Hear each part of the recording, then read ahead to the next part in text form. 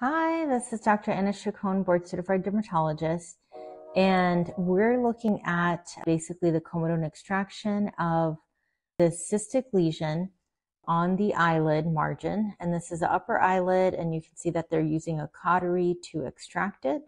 And there appears to be sebaceous tissue in the center. It looks like a milia or a keratinous cyst, and you can extract it with a forceps and, and just extract some of the cyst contents and sebum. And, and this is just coming out slowly. This is, appears to be quite large before it made it to this point, but it's relatively easy to remove and you can just remove it with uh, forceps.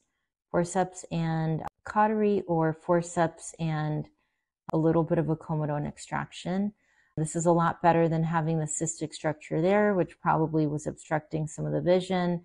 And this is something we can do in the office under anesthesia, or we could use a comedone extraction, but typically we want to be make the patient comfortable and numb the local area. Thank you so much.